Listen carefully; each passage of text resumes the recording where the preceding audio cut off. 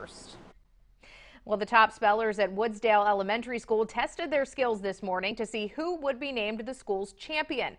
After spelling their way through more than 100 words, only two were left. Levi Helms was named Woodsdale's winner, while Zach Minch was the runner-up. Now, both students will represent the school at the county-wide spelling bee in just over a week at Wheeling Park.